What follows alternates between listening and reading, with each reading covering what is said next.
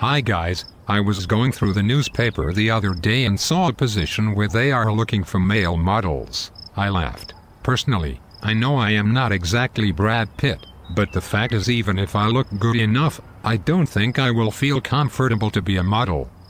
It is definitely out of my comfort zone and is a big no-no for me. Based on what I know, a lot of young girls want to be models just simply because they love it. Most guys who do become model are really only there for the money, nothing more. Me personally, feel uncomfortable about doing stuff like that, so here is my question. Assuming you look good enough, will you feel comfortable about being a male model?